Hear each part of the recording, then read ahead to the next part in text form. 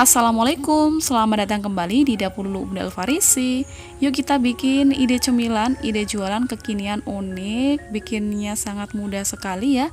Dari bahan seadanya hasilnya sangat istimewa banget. Nah ini bahannya tuh tersedia di warung-warung terdekat ya.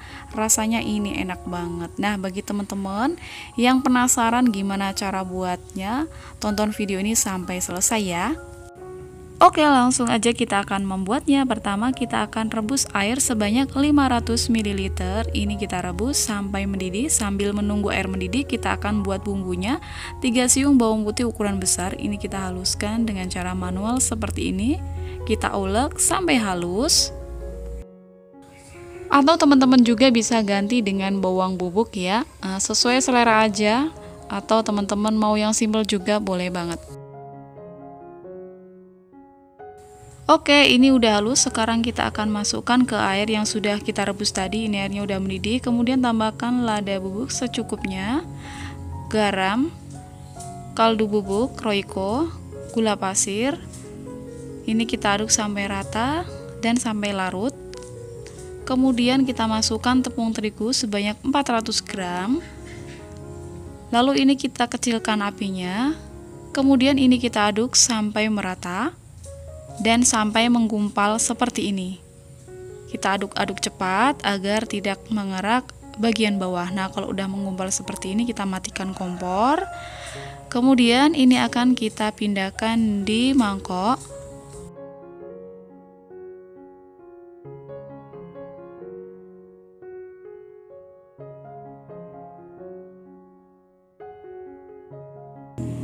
Karena tepungnya belum merata, ini kita aduk dengan centong nasi. Ini masih panas banget. Kita aduk sampai merata. Nah, kalau udah rata kayak gini, ini kan masih panas ya. Kita diamkan dulu sampai dianya benar-benar hangat. Kemudian aku siapkan satu buah otak-otak atau bisa diganti dengan sosis. Ini ukurannya atau takarannya bisa ditambah ya sesuai selera aja. Lalu di sini aku akan potong dadu. Kalau nggak ada otak-otak atau sosis bisa di skip atau nggak pakai juga ya nggak apa-apa.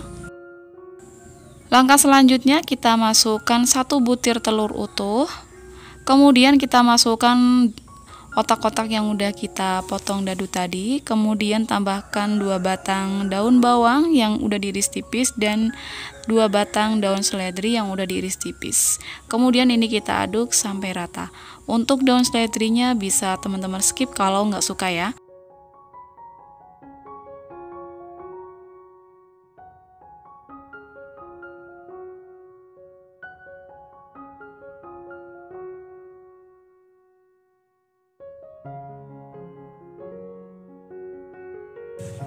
Kalau telurnya ini udah merata, pokoknya semua bahannya udah merata semuanya. Sekarang kita akan masukkan 100 gram tepung tapioka ini aku masukkan setengahnya dulu, kemudian tambahkan soda kue cukupnya aja atau satu sendok teh.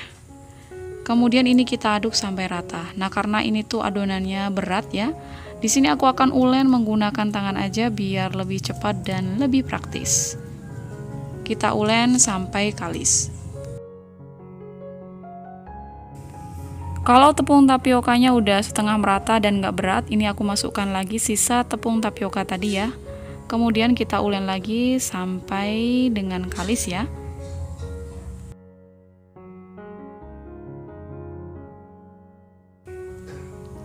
Nah ini teman-teman adonannya udah kalis ya seperti ini teksturnya tidak lengket dan tidak juga banyak ya. Ini sangat mudah untuk dibentuk atau dibuat bulatan kayak gini ya. Oke langkah selanjutnya akan kita bentuk bentuk. Nah di sini aku siapkan tusukan ya. Nah ini kita pindah posisi. Kemudian kita ambil adonan secukupnya aja. Untuk besarnya disesuaikan dengan selera teman-teman ya. Kalau mau dijual eh, menurut aku yang ukuran pas rekomen banget tuh seperti ini ukurannya. Ini pas banget. Nah ini kita bulat-bulatkan seperti ini kayak buat sempolan gitu ulangi lagi hal yang sama sampai selesai Jadi kalau teman-teman mau coba ide jualan resep ini, teman-teman kalau mau bikin atau mau produksi dijual pagi itu biasanya aku kalau bikin itu waktu yang tepat habis asar ya.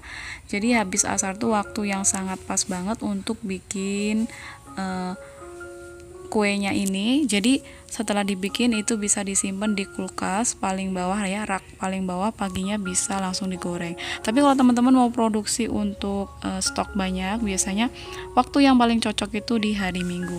Nah ini semuanya udah selesai kita bentuk ya jadi ini tanpa lagi ada perebusan. Jadi langsung kita akan panirin ya karena kan tadi tepungnya udah kita masak sampai matang ya jadi eh, pasti nanti itu hasilnya akan matang. Dan ini dia setelah kita selesai buat sempolan udah selesai kita tusuk semuanya sekarang kita akan buat pencelupnya ada 3 sendok makan tepung terigu. Kemudian kita larutkan dengan secukupnya air. Ini untuk pencelupnya ya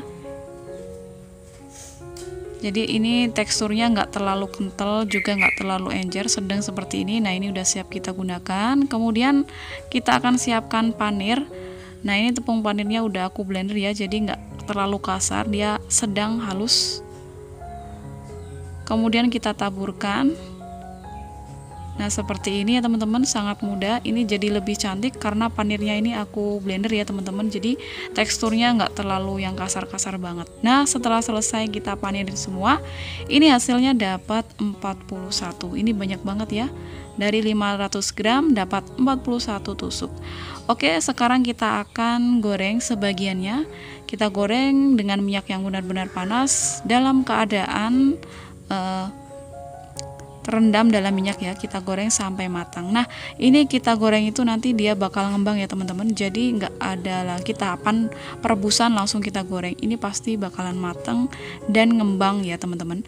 Nah kalau udah kuning keemasan ini kita angkat. Udah matang ya ini ngembang.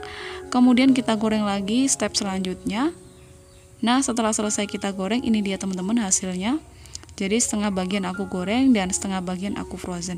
Kemudian di sini kita Sajikan dengan saus mayones dan saus sambal. Ini enak banget, rasanya manis, pedas gurih. Ini lembut banget ya dalamnya itu lembut. Ini matang dengan sempurna. Nah, ini teman-teman. Tuh matang dengan sempurna ya. Ini enak banget, rekomen banget untuk jualan seribuan. Untuk cemilan juga ini mantep banget. Nah, kalau teman-teman mau jual, pastikan ini disimpan di dalam kulkas kalau teman-teman bikinnya sehabis asar atau sehabis maghrib kita simpan di freezer kalau untuk jangka lama. Oke, selamat mencoba. Wassalamualaikum warahmatullahi wabarakatuh.